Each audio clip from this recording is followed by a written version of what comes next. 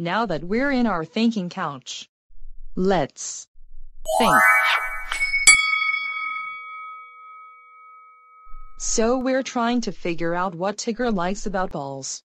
And our clues are a yellow stripe,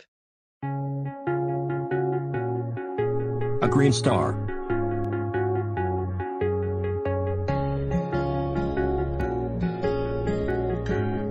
and bouncing.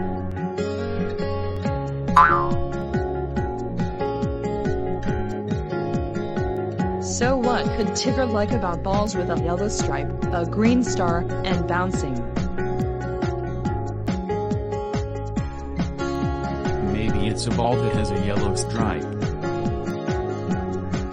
You might be right, SpongeBob. And this ball would also have a green star on it. And maybe this ball would bounce as well. What do you think it could be? Tigger's ball. Tigger's ball. Yeah. That must be what Tigger likes about balls. We just figured out Tigger's clues. We sat on down. Figured it out. What those clues were all about. Wow. You know what? We're really smart. So Tigger. Is that what you like about balls? Your own ball? Yes, it is Vanessa. I like all balls. But I like my ball most of all. And I have it right here. Now. That's a great ball, Tigger. Bark, bark, bark, bark. Nice ball, Tigger. Thanks everyone. I love my ball very much.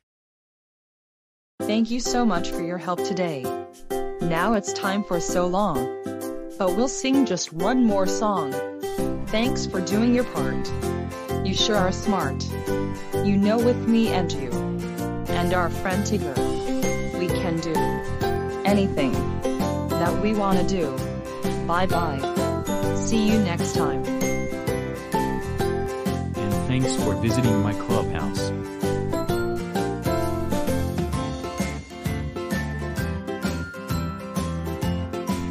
Bye.